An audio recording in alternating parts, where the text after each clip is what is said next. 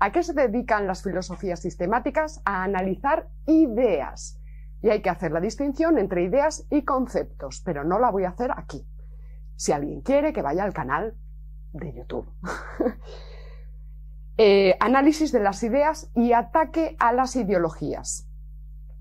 Ataque a la demagogia, que no es un ataque gratuito, lo que hacen estos sistemas es eh, enfrentar a, estas ideologías de una forma dialéctica, es decir, con argumentos racionales, no a través de insultos.